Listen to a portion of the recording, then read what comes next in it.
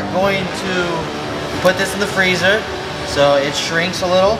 Make because you saw how hard this was to kind of get off. Took a few hits. He's measuring all the shims and he's actually writing the locations of where the shims were located and putting all the measurements in there so we have an idea where we need to go back to. And I actually have I have all my gear jobs in here. As you can see, here's the front and here's the rear. I have everything labeled. I have both sides labeled. I have my backlash. I have my factory stuff. And that's how, if we run into any sort of, um, if we run into any sort of issue with any of our jobs, I can go back and look at what we did in that particular circumstance. Greasing up our races so we can go ahead and put them in our differential housing. And they just came out of the freezer. Yeah, so they're a little difficult to grease. Uh, we just put the shim in and I just put the race in and we're about to tap it in. What Tracy's going to do is he's going to work its way around the race, hammering it into the case.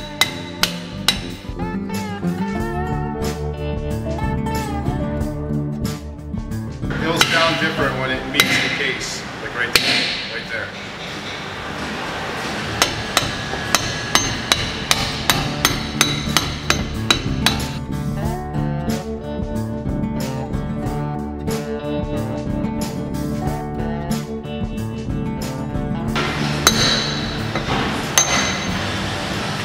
in. This tool is a bronze drift from Snap-on. You can get them bronze or brass. You got to make sure when you're installing those sort of races, you're not using anything harder than the race because if you scratch it or nick it or chip it, it'll completely diminish the bearing life. We're at the point where Tracy's to press the pinion bearing back onto the new pinion.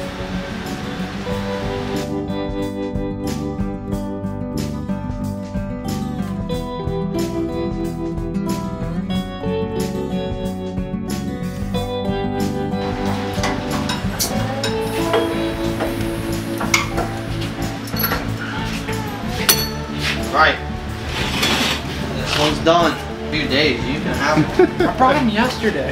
That's a few. It's two. So yesterday and today's a few days. Tracy's just going to press one carrier bearing on. Joey's washing his hands.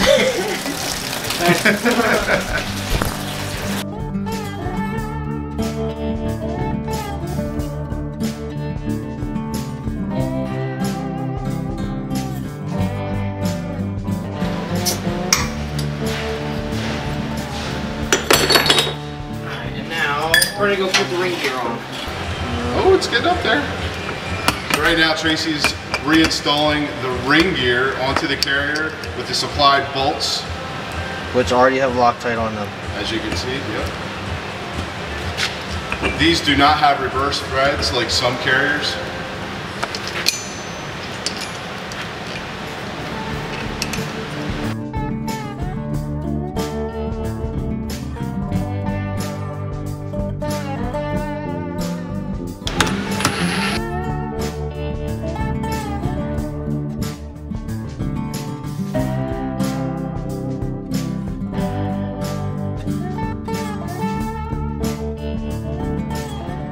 Now Tracy's torquing these bolts down to 100 foot and uh, our vice is our vice. no pun intended.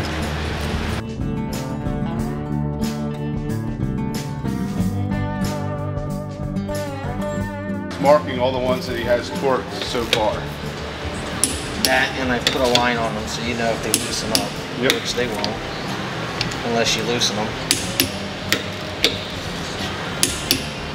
Think we're there, bud? You torqued. This will come off separately. Make sure you don't do that. don't do it's that. not gonna hurt anything. It's just you Just can don't do lose something. Yeah, just don't you do don't it. have to. These have little feet, which these feet then go in these notches. So you could potentially put these in there improperly. So you have to look when you put them in. You'll be able to see, and then you'll you'll be able to hear it. Yeah, it sounds like it's seated. And that's That's seated all the way. and he's just gonna press that last bearing on. Just gonna press that bearing on, and this is where we're gonna stop today because, well, it's almost six o'clock. Shop closed at five. We're gonna pick things back up tomorrow morning after my chiropractor appointment. So right now I'm gonna go ahead and get the uh, the front pinion set in. It's easier to have somebody hold this end, and then you tap the uh, the back of it in. But I'm the only one at the shop at the moment because no one's gotten here yet, and it's early. So let's see if I've got the stuff to do this. So as you can see, there's a gap in here. What we're gonna do, I've already put the, the old nut on. You wanna use the old nut. I normally grind out the lock nut part just so it goes on easier. But I don't have any of those for this pinion.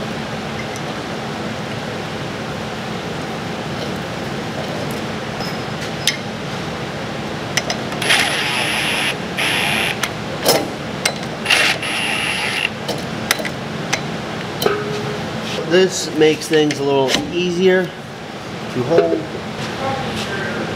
I can hear it around 14 to 26. So we're gonna be in this area of how much it takes to spin this, and I can tell you right now, it's a little over, which is an easy fix. We'll just loosen it and give it a little tap. That was probably too much, but we'll go from there.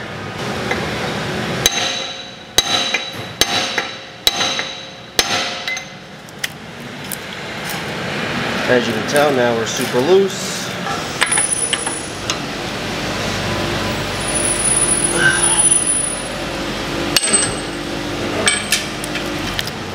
We'll try that.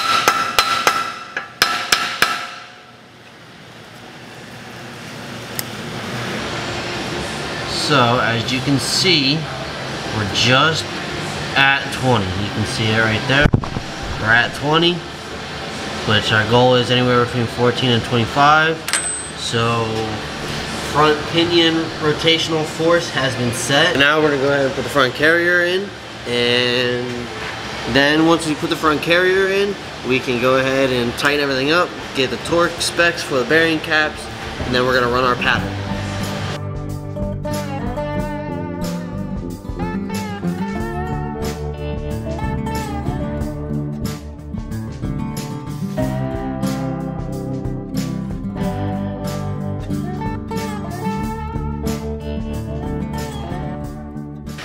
What we are looking at is ring gear backlash.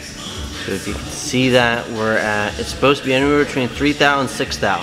So that's what, what we're about to measure with our fancy tool. Zero. You're on a little bit of an angle, so it doesn't quite look like zero. But we have two and a half thousandths of movement. We are a little bit off on our backlash numbers, but it's not that far off. We are a thou away from just being in spec, so that is close enough for us to do our pattern so we know if our pinion's in the right way. So if our pinion's not, we can go ahead and set the pinion and while we're taking it out, then we can change the shims for the backlash. But if we don't have to take the pinion out right away, we can go ahead and leave it there and then just focus on backlash. Apply some pressure here and spin it with a drill. And then go the other way. Pattern looks in the center. There you can tell. There you go. backlash and check it again before you do a crush collar. Look. There you go. There's Keith's opinion, everybody. Oh boy. Next step, taking it back out so we can change our shims on the side of the axle. And then we're gonna check it again. This is good enough for a checking point. It's not like we are super crazy off or anything. So let's see how this goes.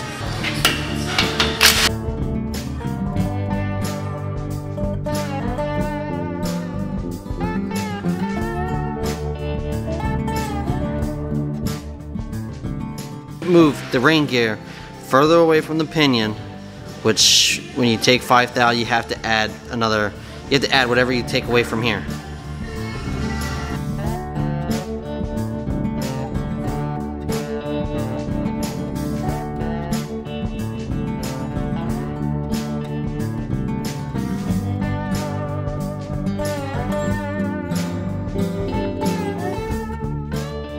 We're at the top six, zero. So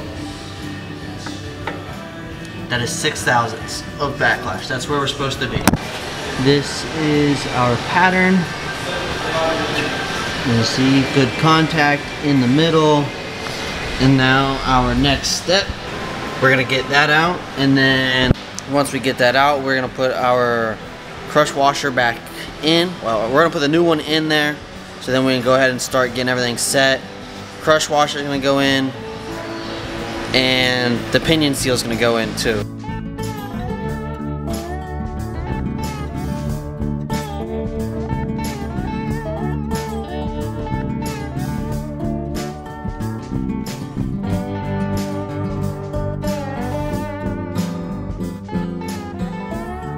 Put the nut on, threaded it on there. We are at 25 inch pounds of rotational force. Our uh, paperwork shows for 14 to 26. We like to shoot on the higher side because there's nothing wrong with going on the higher side of things. So we are at 25. Now we are going to put the carrier back in and we're gonna start rolling. We're, we're gonna get this put back together before Steve gets here. Let's get to it.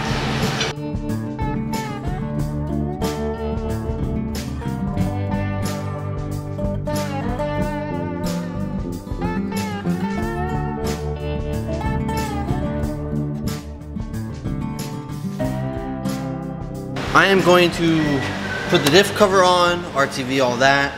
So while the RTV is drying, I can put the axle shafts back together. I can put the pad back together. Put the rotors on and the calipers and the wheels. I'm gonna try and do all this before Steve shows up, just because it, you know, it'd be kind of funny. Not funny, but it's fun to see if I can do it that quickly. No, I was literally just talking about trying to get this done before you showed up. You missed all the good stuff. Listen, I brought hand oil and shop drinks. You can't go wrong with that. Hand oil and shop drinks. All you need in your life. I was literally just telling the camera I was trying to get this done before you showed up.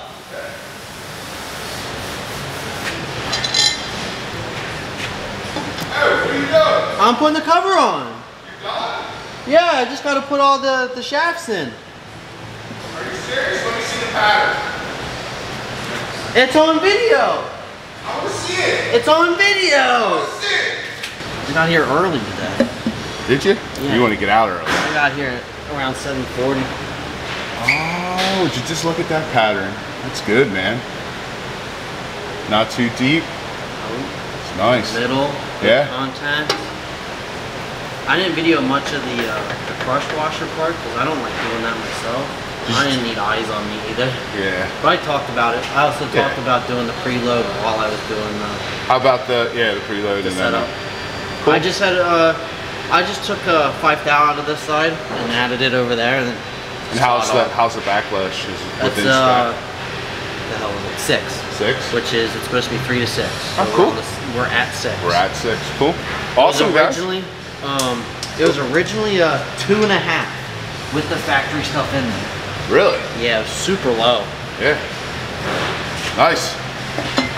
All right, guys. So Tracy got everything done by the time I got back here, which is awesome. Almost everything done. We just got to reassemble, put the axles back in, um, the hubs, the wheels, and all that good stuff. And then we're gonna fill her back up with our awesome Amsoil from Beast Synthetics. So we're just gonna he- do that, and then we're gonna head to the rear and finish the rear, and then we'll be done. There's something interesting that uh, Tracy was pointing out to me. I'll let him talk about it. What he's doing here. Um, anytime we take out axle shafts or we're doing a hub on any sort of any sort of axle with axle shafts, we always clean up the uh, the hub surface right here with a wire wheel.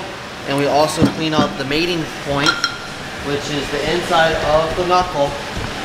So we can put, so we can get a nice clean surface, so we can put anti-seize on it. And so in the future, when they come out again, because you know axle seals go bad, people have to do the U-joints in these. It's, it's inevitable for hubs to come out. If we put anti-seize in there, it'll be easier and we won't have to fight it. We've had some where it takes a couple hours or it takes two hits just like Steve's where they come out. So it just makes life easier. The only reason why it came out with two hits is it's got 11,000 miles on it. But can you imagine doing a Jeep that has like 80,000 miles on it? They've never been out? That or they've been in a lot of mud and Yeah. been in the PA salt. It takes a while to get those out. Like most Jeeps in Pennsylvania, or most Jeeps that go off road. That's it, yeah. Another little thing that I forgot to mention is for the wheel speed sensor, I like to put some anti-seize around it and a little bit in it. So when we go to put the wheel speed sensor back in it, it'll actually come out if we have to take it out again. One of the very big problems on the JKs is they'll get stuck and you either break it to get it off or you take the whole wire and everything with it. Tracy's going to show you how easy it is. Whoa, I'm doing it? Oh yeah, you're doing it because you were doing because it. I'm I have bare hands and I'm already got them dirty enough. I don't have gloves. Well, we have gloves. And I- I- I'm- doesn't want to put them on. Yeah, I never. I hate wearing gloves. You already cut it? Yeah, it's ready to Well, go. It's ready to rock and roll. All the work for me. Look at that. Easy pack, no mess, no spill, Yeah. all easy.